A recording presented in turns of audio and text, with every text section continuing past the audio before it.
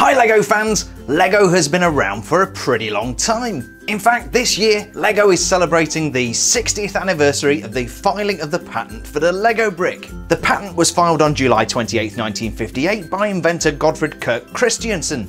To celebrate this momentous anniversary, the LEGO Group have created a commemorative set. And today, I'm going to be unboxing, speed building, and reviewing set number 40290, 60 years of the brick. This set is a free giveaway at the LEGO store and online at shop.lego.com. To qualify to receive this set, you just need to spend more than $125 at the LEGO store. That's quite a lot of money, but it seems there are quite a lot of takers. The online LEGO store has already run out of stock, and these are changing hands on eBay for upwards of $40. So if you do want one of these and you haven't already got one, you need to act quickly. The set features four miniature builds based on iconic LEGO sets from the last 60 years. Set number 375, Castle from 19 1978, set number 928 Space Cruiser and Moonbase from 1979, set number 6285 the Black Seas Barracuda from 1989, and set number 6399 Airport Shuttle from 1990 which featured the much loved monorail system. The back of the box contains photographs of all the sets on which these miniatures were based, and two photos of what must have been the luckiest kid alive. And there's also the old fashioned LEGO system logo.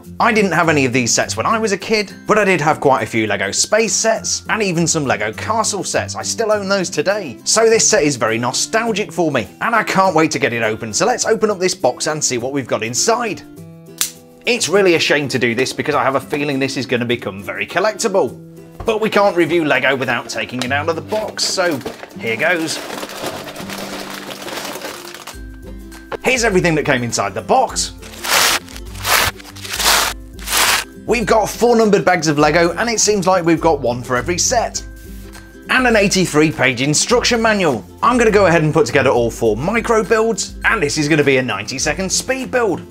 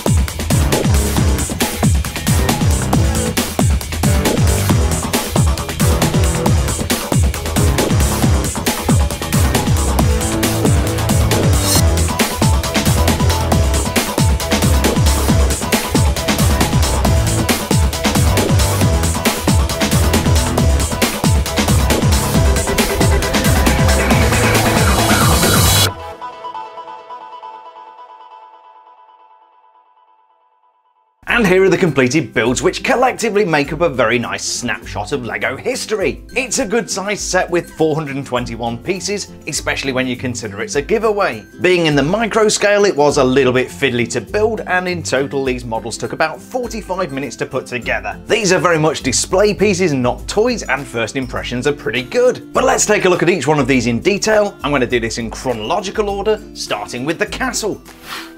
First up, we have a miniature representation of set number 375, the famous Yellow Castle from 1978. LEGO sets remained on sale for much longer back in the 1970s and 80s, and I remember seeing this on the shelves of my local toy store when I was a kid. But with a 767 piece part count, which included 4 minifigures and 4 brick-built horses, this was one of the biggest sets on sale, and as such it had one of the biggest price tags. And I never got this one. If you happen to still have one of these mint in box, it's easily going to sell for $500 plus. As you'd expect with such a small build, it's not perfect, but it comes pretty close. The main tower and ramparts are missing the 1x2 blocks of the original, but the actual studs of the Lego bricks kinda make up for that missing detail. We get a sense of the original green base plate at the bottom, and there's a working red drawbridge, just like the original. With so many minifigures, the original was definitely designed as a playset, and this has a nice feature mirroring the original, in that you can open up the sides and access all the space in the middle of the castle.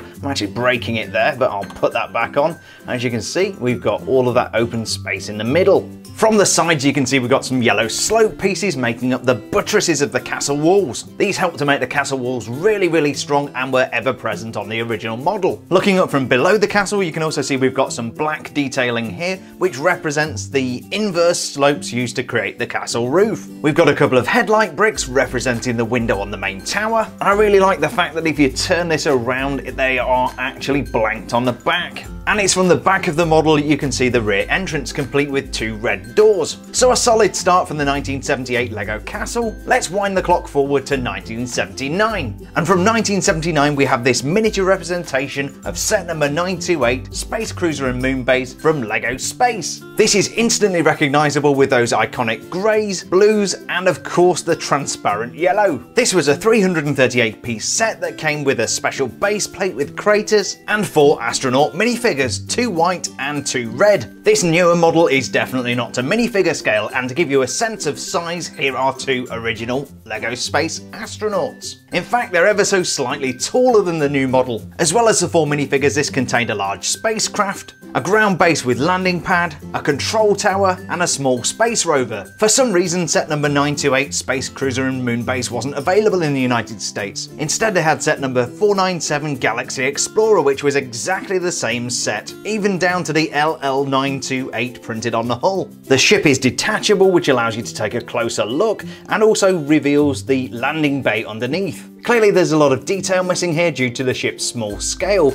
but I do think this is a really nice representation and it's instantly recognisable as a ship that inspired Benny's Spaceship, Spaceship, Spaceship. The original landing pad was a printed base plate, but I do think they've done a nice job of representing it here. The tower is very minimal and doesn't really look like the real thing except for the obvious use of colour. And at this micro scale, the already small rover was going to be very difficult to recreate. But I think they've done a nice job using a roller skate and a one by one stud. The scale of this model really hinders it in terms of detail, but I think it hits a home run in terms of being instantly recognisable as a set that it portrays. And with that, let's leapfrog forward a whole decade to 1989. This is a much bigger and taller micro build, and represents a classic LEGO Pirate set 6285 Black Seas Barracuda. Black Seas Barracuda was the biggest of the four sets represented in 60 Years of the Brick. This came with 909 pieces, including 8 minifigures, and a notorious Captain Redbeard. The masts and sails are very nice recreations with that classic red and white design. And we even have flags on top, but obviously lacking that skull and crossbones from the original. I'm not so sure about the shade of colour blue used for the sea, maybe this would have looked better with a darker blue. But we do get two red pieces on each side representing the covers for the cannons. The build is symmetrical on both sides and makes great use of modern pieces as well as classic pieces to recreate the shape of the original ship.